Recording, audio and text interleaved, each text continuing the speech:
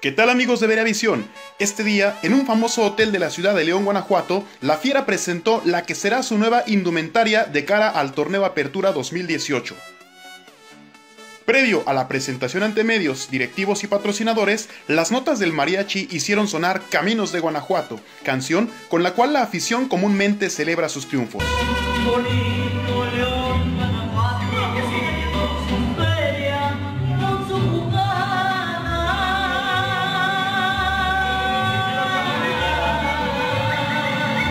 La presentación por parte de la marca patrocinadora comenzó con los uniformes de visita y de local del equipo femenil, siendo el que más destacó el conjunto alternativo con rayas verticales y degradadas en color verde.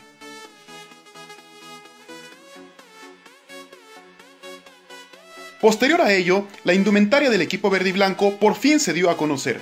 Primero que nada, los uniformes de porteros en las personas de William Yarbrough y Rodolfo Cota, de quienes se espera haya una gran competencia para defender el arco de la fiera.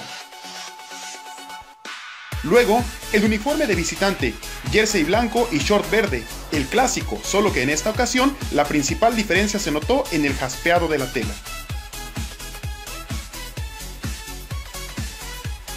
Finalmente, el tan esperado uniforme de local, un jersey tipo polo color verde, esmeralda y short en blanco inspirado en los años 60.